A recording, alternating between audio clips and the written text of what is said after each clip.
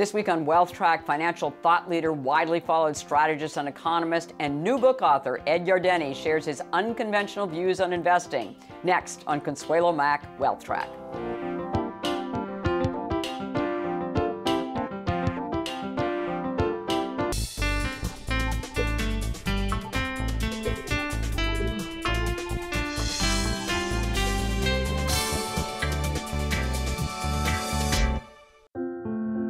York Life, along with Mainstay's family of mutual funds, offers investment and retirement solutions so you can help your clients keep good going.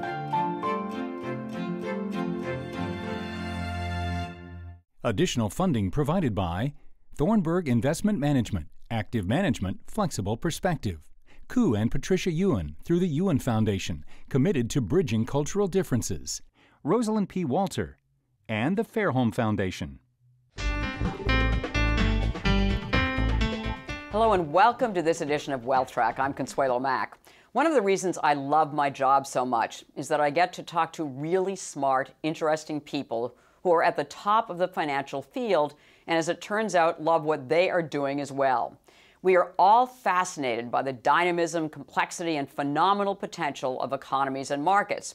And we are motivated by the desire to help our clients, in our case, our viewers, understand them and become better investors, build wealth, and achieve financial security.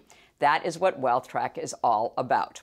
Well, this week's guest is a perfect example. He is new to Wealth Track, but not to me. I have been following his research for years, and I'm delighted I finally had a chance to catch up with him again. He is Ed Yardeni, a PhD economist and investment strategist who is widely followed by institutional investors. He is president of his own global investment strategy and asset allocation firm, Yardeni Research, which he launched in 2007. Before that, he held chief economist or chief strategist positions at divisions of several major firms.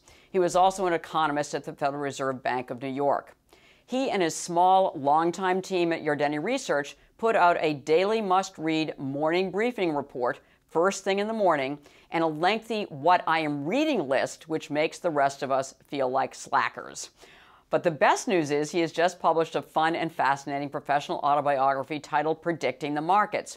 He is a really good writer, observer, and analyst. The book reminded me of all of the amazing changes we have lived through over the last four decades and how they have shaped economic and market behavior. They continue to do so. Yardeni describes his job as solving a puzzle on a daily basis, connecting all the dots to get his clients on the right side of the market. In his book, he devotes a chapter to each of the most important dots, from geopolitics to technology and productivity to inflation, the Fed, the business cycle, consumers and demographics. The list goes on and on. I asked him which pieces are the most important to keep on top of. The, the news events are constantly throwing pieces at us. Right. And part of the trick is to figure out which ones are noise and which ones are signal, which ones really matter and which ones don't. Um, I, I, would say that um, from a stock market perspective, it's in theory it's pretty simple. It's just PE times E. It's earnings, mm-hmm. E earnings right, times price. the valuation of earnings gives you the price. Uh, so you know, I, but it isn't that simple. It's not that simple. No.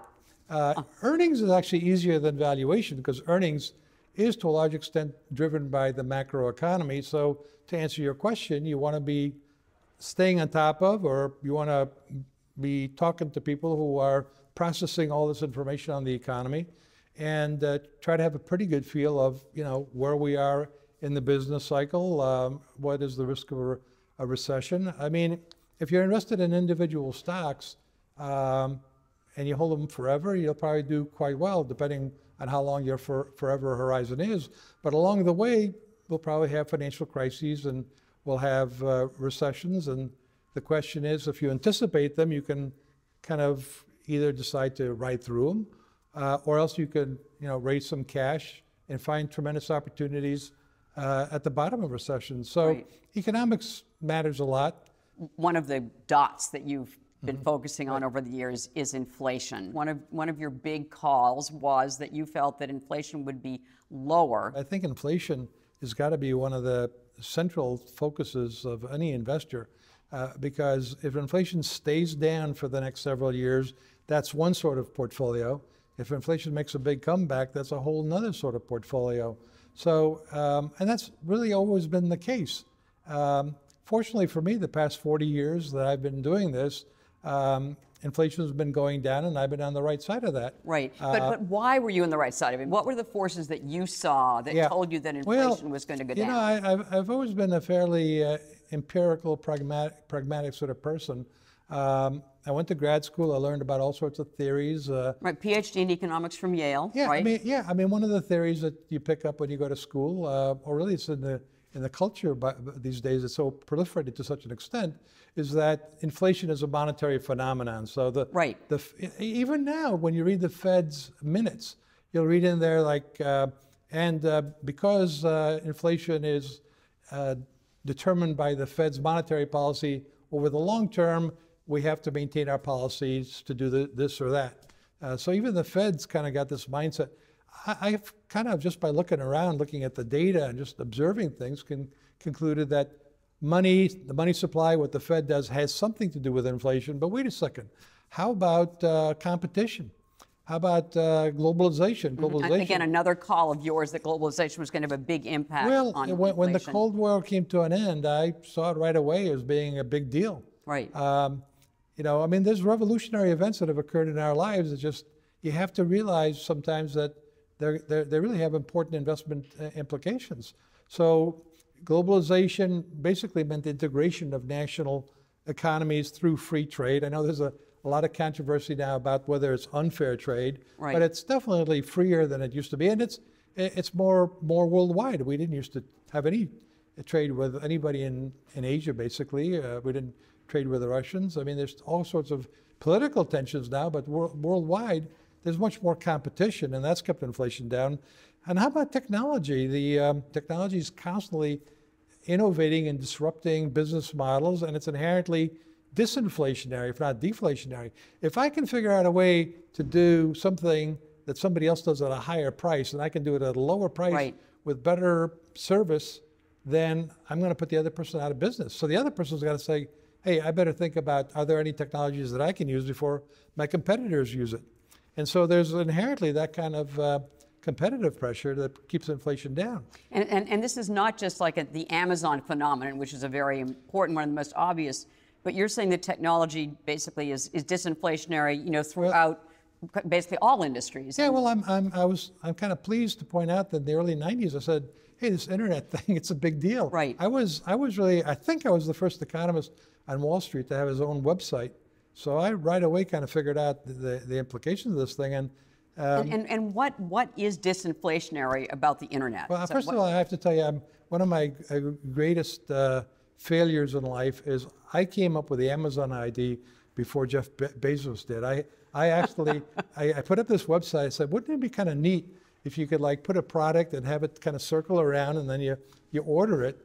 And, but I didn't have the, the kind of sense and business smarts that Jeff Bezos said, But I right away figured out that, hey, with the internet, you can find whatever you want anywhere around the world at the lowest possible price. Right. So, you know, the consumer now has price discovery and the producer has to compete against those low, lower prices. Yeah. Another another trend that you're looking at, uh, Anna, it, it, are demographics. Yes, and so absolutely. The, so the aging demographics. But but talk to us about you know what, what the impact again on the on economies Yeah. and markets are of, So, of yeah, demographics. I mean, so the, the, the whole disinflationary story de- depends, I think, on competition resulted from globalization, and technological innovation, and aging demographics. I think that uh, uh, s- societies that uh, have an older uh, profile just don't have the kind of uh, inflationary potential that uh, younger ones. What's fascinating is fertility rates have collapsed all around the world except India and Africa, uh, to the point of where we have to actually worry about is this like voluntary self-extinction? I mean, Mm-hmm. you know, if we're not going to have enough kids, what are the implications of that? And, so uh, so Malthus was wrong. uh, Malthus in- in was that- so wrong. I mean, overpopulation Malthus- was going to Mal- be the huge problem. yeah. And I mean, everybody thinks of economists as kind of making mistakes, and you know, for good reason, because Malthus was the first economist, and he was just so wrong in such a major way. Mm-hmm. You know, he predicted that the food supply just wouldn't increase at the same rate of the population, and people would starve. And um, what happened instead is um, technology, uh, radically transformed agriculture. And here's the real kicker: if uh, if if we didn't didn't need as many people to produce all the food that everybody needs to Right. eat, there's no jobs on the farm anymore. So that we've seen tremendous urbanization. Now, I mean, I think Hillary Clinton was right. It takes a village to raise children. I mean, when you have a village, you know, and, and you live like it, you know, you know, in the savannah someplace, you need to have as many kids as possible. Right. You need them to, you know, tend the, the cows and help out with the harvest and all that. When you move to a city, forget about it. It's like one kid's expensive, two kids is like ridiculously expensive. And you know, the Chinese just recently went away from their Their one-child policy, to right. two, child, two, two children, but they've urbanized to such an extent that the cost of having children is prohibitive. So, And so, so what are the investment implications of, of that? well, you know, in some ways, you don't really need to think too much about where this is all going. You can just look at Japan. Japan's got a very geriatric society. There, as a matter of fact, I think it was in 2011 that the number of deaths exceeded the number of births. Right. I mean, it's an extraordinary development. And um, so you would think that there'd be a shortage of workers, but the reality is that they need robots to do the work that, that they just don't have, you know, working age population. And the older people need robots to help tend to them.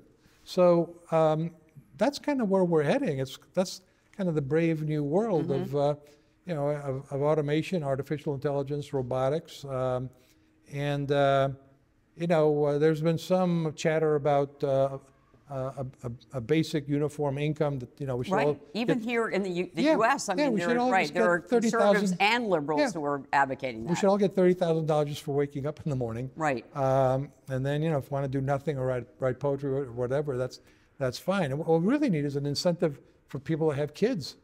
Uh, so you know lo- lowering that cost uh, is something that the Chinese are actually looking into, and the Japanese are talking about it. So we, we need more babies. It's not. Not, not the current course, but from an investment standpoint, it means that inflation stays down. Right. Um, it means that uh, you, you don't have the, uh, uh, uh, the, the, the, the rapid growth in consumption that you might have had when, uh, when you had a, a younger society. Uh, but the big implication of all this is if inflation is going to stay down, uh, then uh, that's a pretty good environment for stocks because uh, companies that are able to raise their dividends and to define business on a global basis, you want to own them. that one of the things that you say as uh, as a, an economist and a, and a strategist is that you you don't want to be an ideologue, Right. and that, that basically you don't want to be a preacher, Right. that you want to be an investor. Uh, right from kind of the get-go, uh, you looked at President Trump's uh, administration, and uh, you know you you were long Trump. At least you were long the market, Well, long I- the I economy. so explain actually, I was, that. actually, I was long Obama, believe it or not, um, because early on in the Obama administration, um, my, uh, my my commentary sounded like Fox News. I was kind of, you know, I'm a conservative kind of fellow, not not in a crazy way, but uh, you know, I, I believe that you know, if you can possibly work for a living and take care of your own, that that's really what you should be doing. Um, so I was a little bit exercised about some of the policies that Obama was coming up with. And one of my big accounts basically threatened to like say, you know, I don't really need you. He said, look, I don't pay you to be Fox News. Right. Okay. I pay you to tell me whether the market's going up or going down. That's what I pay you for. And it was like, so is that like a wake-up call for like you? a- it was like like an you know, amazing wake-up Right, call. right. Right. And then I, you know, focused less on what was going on between Congress and the White House, and I focused a lot more on, look at what the Fed's doing. It really doesn't matter. I mean, if you know, if we basically have gridlock in Washington, but the Fed is providing all the money in the world to avoid another calamity, and the ECB, the Right. European Central Bank, and the Bank of Japan are all doing the same thing. That's all you had to know. So early on, I kind of figured out that uh, you don't want to fight the Fed. That, uh, that that's, That's an old adage. Right. And you don't want to fight the central banks when they're all providing liquidity. So that helped a lot. And then when Trump, before Trump won, a few weeks before, I said, you know what? It really doesn't matter whether it's Trump or Hillary. What matters is the global economy is actually looking a lot better. So it's PE times E. The earnings outlook is really looking pretty good. So I, I said, I, you know, I mean, I, it didn't matter to me as a forecaster. But once Trump won, I said, you know what? We, I did what everybody else did. We better reread his, his campaign speeches Right. and his promises. and uh, his agenda, and it was all right there, and it sounded very Reagan-esque, and it sounded very bullish. Cutting corporate tax rates is extremely bullish.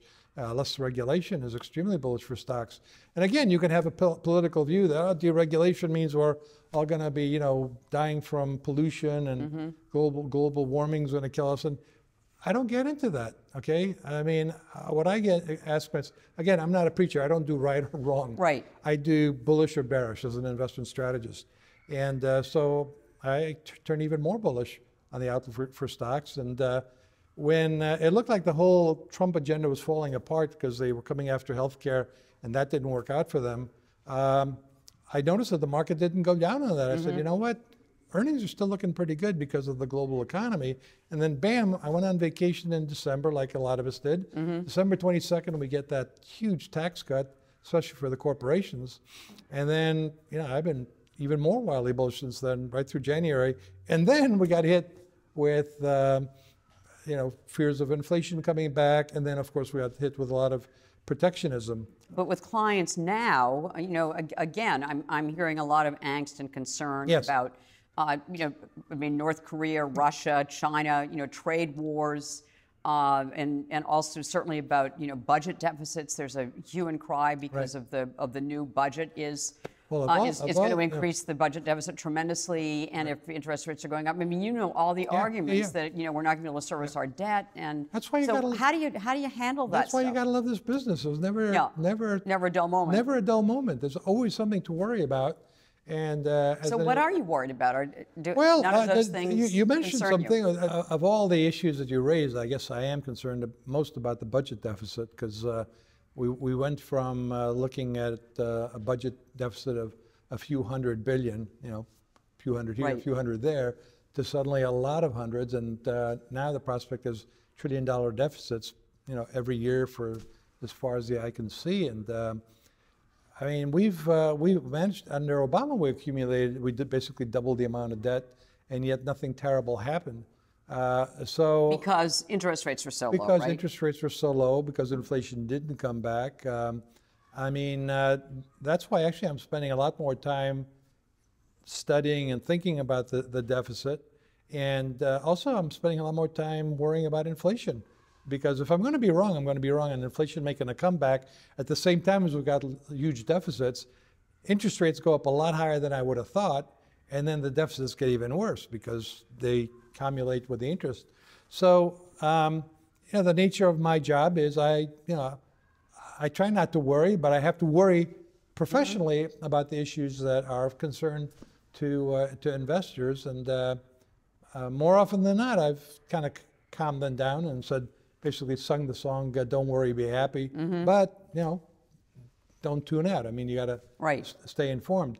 But on the trade side, I um, I didn't think that um, Trump would be um, a, a real protectionist and shut shut us off. I know America First sounds like it, uh, but uh, from what I was gleaning from his speeches and the campaigns and his um, and the people he was surrounding himself with, um, they, they were still going to uh, leave free trade intact. They just wanted to be fair, and I'm I'm pretty impressed. I mean, the, the Chinese have already responded in a um, i- i- in a way that suggests that they're willing to. They're basically conceding they've been doing some things that are unfair. So uh, the, their president has announced that they will lower tariffs on autos, Right. um, and that they uh, he basically conceded that uh, there's some unfair practices when it comes to intellectual property. So that's a good thing. Um, you know, one of the things that you write in the book is that y- your job is to to help clients be on the right side of the market. Right. So, what is the right side of the market now? Well, I, I, I think if you've got a long enough time horizon, What does that mean? Well, you know, I mean, I, I wrote this book over the past 40 years, so I, I, I hope I'll be able to write a, a follow up uh, 40 years from now. But historically speaking, uh, the, the best investments have really been dividend yielding stocks.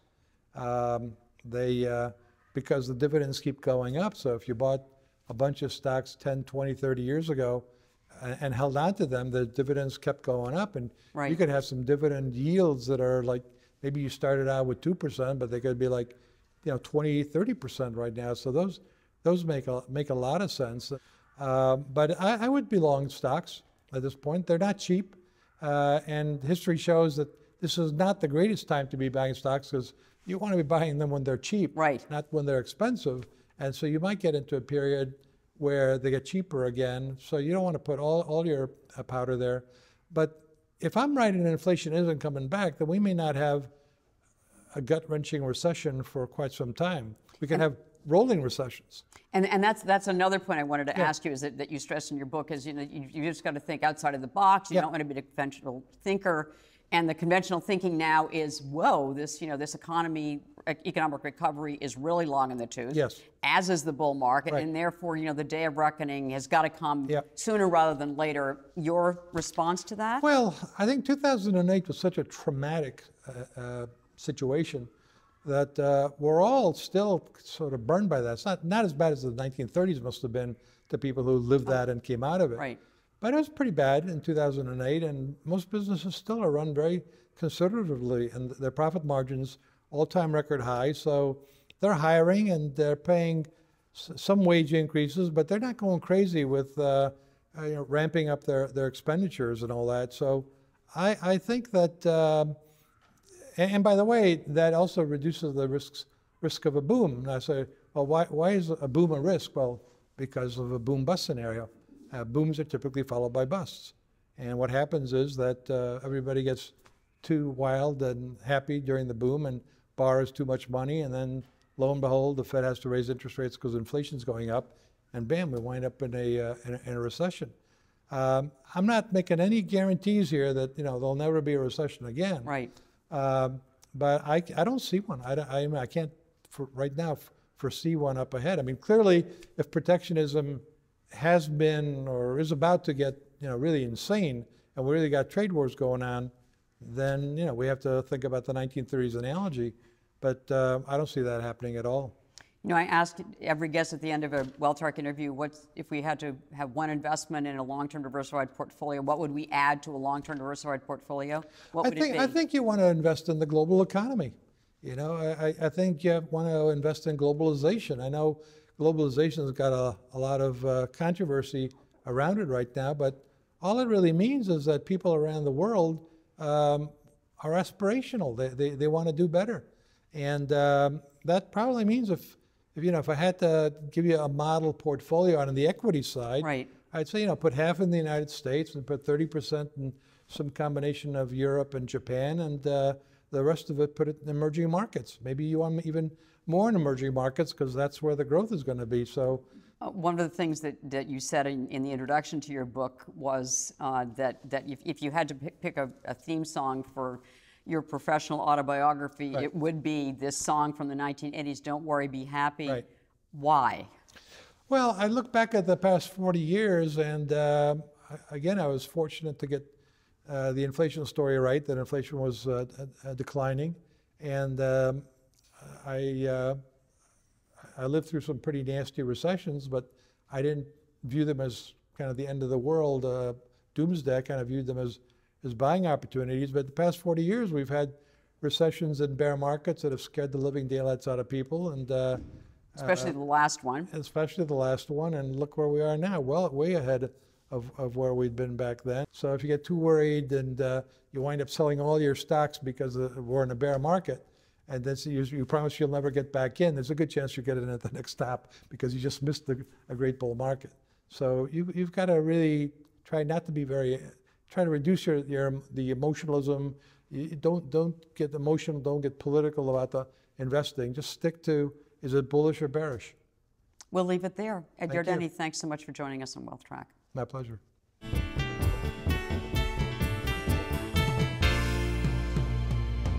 At the conclusion of every WealthTrack, we try to give you one suggestion to help you build and protect your wealth over the long term.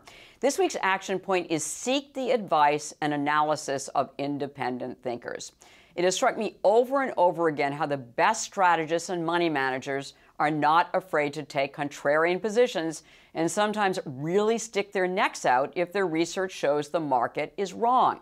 Another essential component of their investment success is to work for a firm that encourages independent thinking and expects its professionals to challenge conventional wisdom. There is a reason why so many Wealth Track guests either own their own businesses, work for privately held ones, or for the handful of public companies that understand patient long term investing. In order to outperform the market through various economic and market cycles, you have to make decisions that diverge from the market and therefore go against the crowd. Well, next week we will discuss investment opportunities in Europe with David Nadel, portfolio manager of top performing Royce International Premier Fund. Where is he finding value on the continent this year? In the extra feature on our website, Ed Yardeni will tell us about his weekly movie reviews and how they relate to the state of the markets. Please continue to share your thoughts on Facebook and Twitter as well. Thank you for taking the time to join us. Have a super weekend and make the week ahead a profitable and a productive one. New York Life, along with Mainstay's family of mutual funds, offers investment and retirement solutions so you can help your clients keep good going.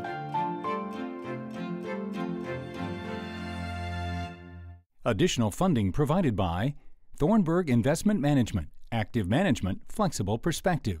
Koo and Patricia Yuen through the Yuen Foundation, committed to bridging cultural differences. Rosalind P. Walter and the Fairholme Foundation.